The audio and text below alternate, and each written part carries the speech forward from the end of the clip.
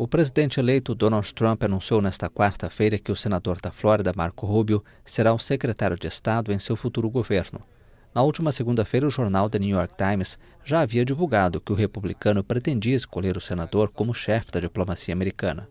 Nascido em Miami, filho de imigrantes cubanos, Rubio é formado em ciências políticas pela Universidade da Flórida.